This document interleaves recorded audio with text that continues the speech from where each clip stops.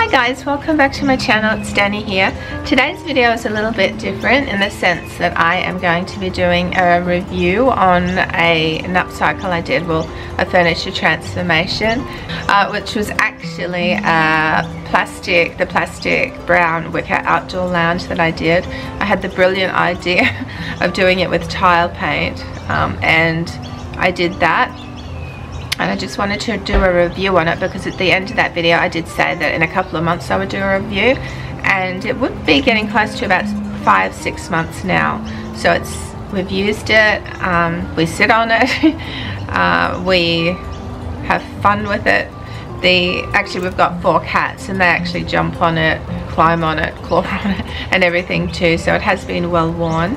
Um, I do actually cover it up at night, but that's mainly because of the cushions, because sometimes the cats will sleep on it, and um, you know, one of our cats is black, and you know, he gets black fur on it, and also I don't want them to get on with their muddy claws, which they do anyway, but I tr do try to look after it, and I do try to keep it, you know, as good as possible, and be careful with it, because after all, it's paint on plastic wicker and that in the whole scheme of things is not ideal but I did it and I just want to do a review on it and let you know how it's worked out and how it's held so I got up. the idea to actually paint it with the tile paint because we had done a really budget DIYs on our kitchen and on our bathroom and most of the bathroom was paint and probably about half of that was tile paint. So we used it in the shower on the floor.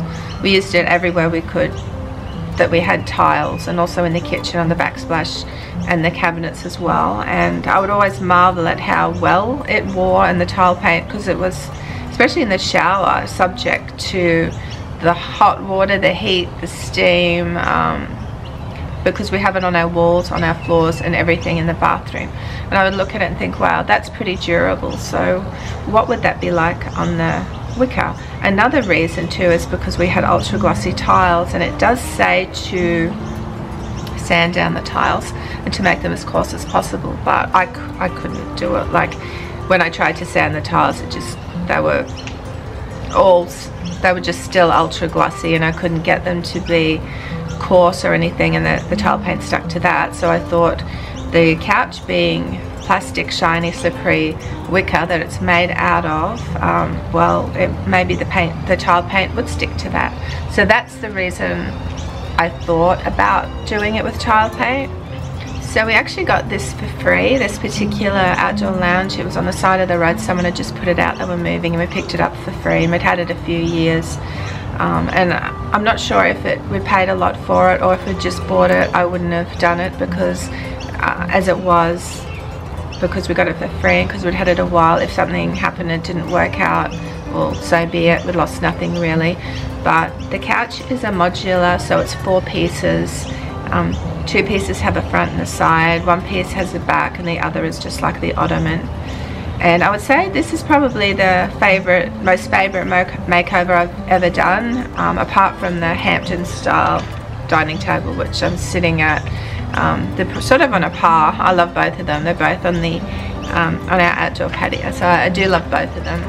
So there were two things I thought may go wrong after I had actually painted the wicker furniture. One was that it just wouldn't stick and that would easily come off if it was touched or if it was scratched or if it was bumped. That was the main thing.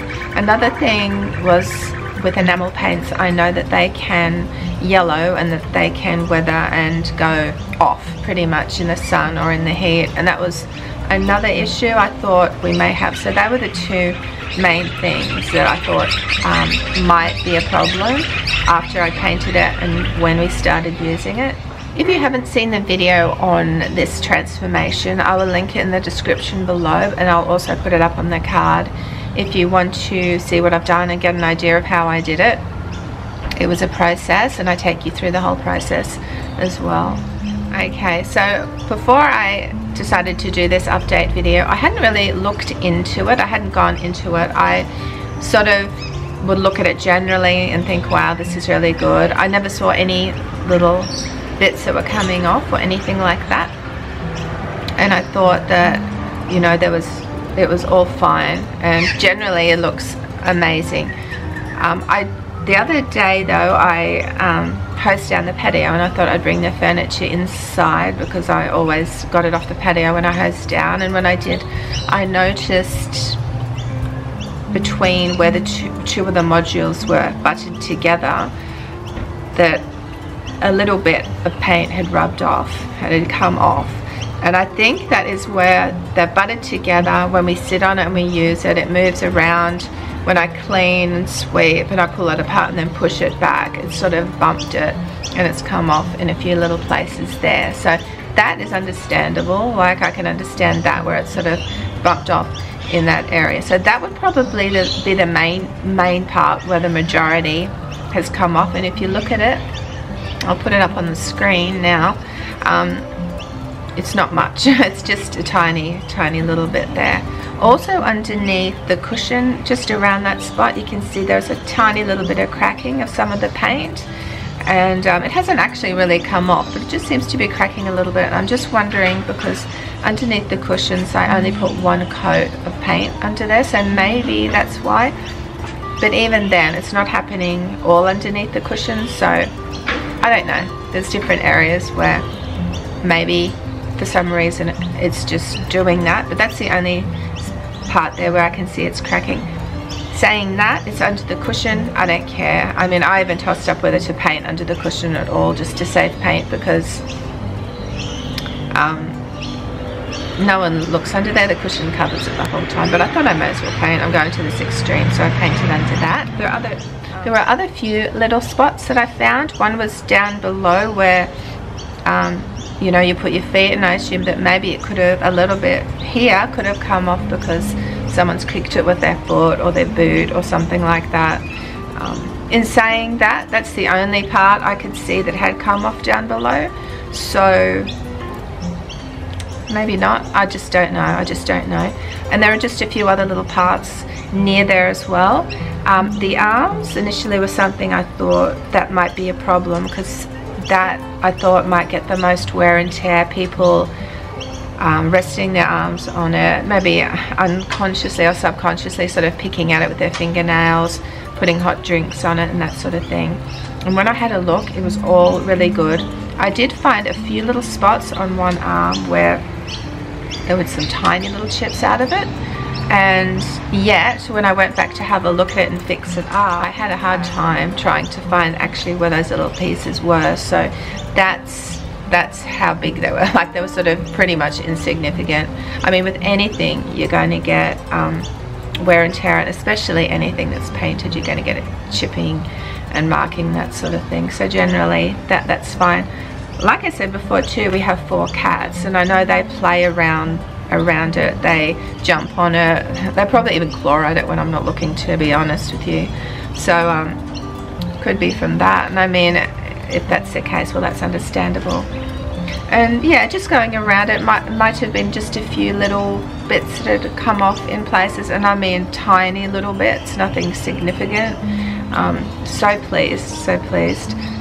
Percentage wise, I guess if you would say that there is any damage, you'd be looking at probably 0.0001% out of the whole couch.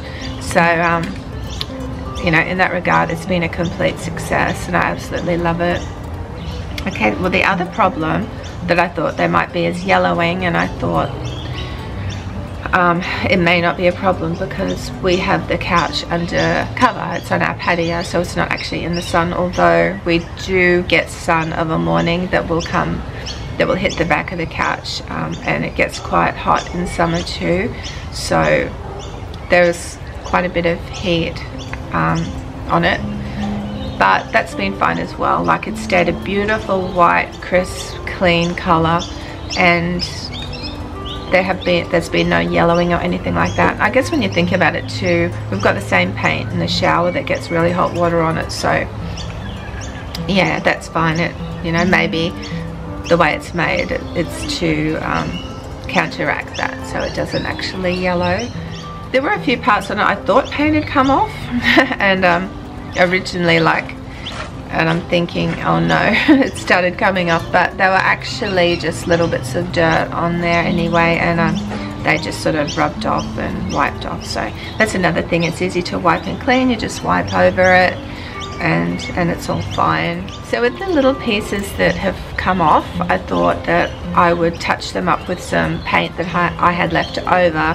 Um, I think I used probably about one whole tin maybe of tile paint. I had half a tin then I had to buy another tin because I didn't have enough. And then yeah so I probably had almost half a tin left over. So what I did was I put it into a little screw top jar so I have easy access to it so I can just touch it up whenever I need to. I got a craft brush just a little craft brush and I just dipped it in the paint and spot painted it where the little bits have come off. Uh, I didn't worry about the primer because I did use primer originally but I'm not worrying about the primer for those little bits. It's not going to make any difference.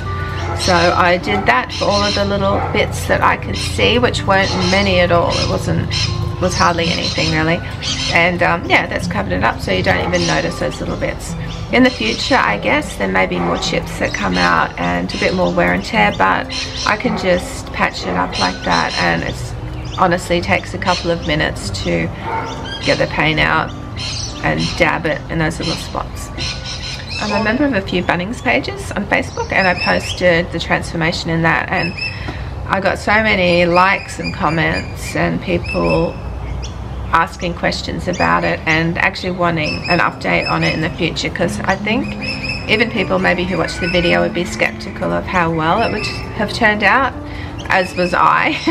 I just wasn't sure. But um, like I said, it's one of my favourite transformations I've done and it's made such a huge difference to the patio. Before it was like a big brown blob and now it's just, just nice and white and crisp and it just, it looks really lovely. So it was a success. I absolutely love it. And if I got another wicker lounge or a wicker chair that needed a makeover, um, I would do it again. It was a process. It took me about three weeks and I suppose a con of it is that it was a very smelly paint. And um, I just by the end of it honestly I had had enough. I thought I'm never going to do this again. and I can say it has worked out and I'm really really pleased with it. Thank you so much for watching this video and I will see you in next week's video. Bye for now